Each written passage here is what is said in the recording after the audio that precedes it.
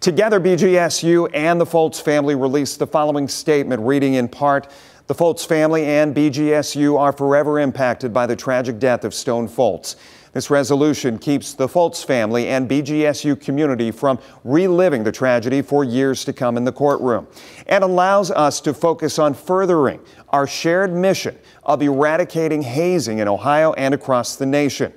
Leading these efforts in our communities is the real work that honors Stone, end quote.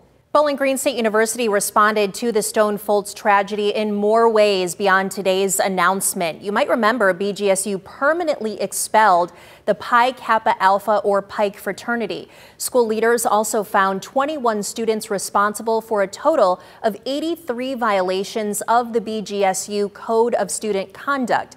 Three students were expelled from the university permanently. 17 were uh, suspended. And lastly, it set up hazing prevention and education programs at the school to reinforce a zero tolerance for hazing on campus.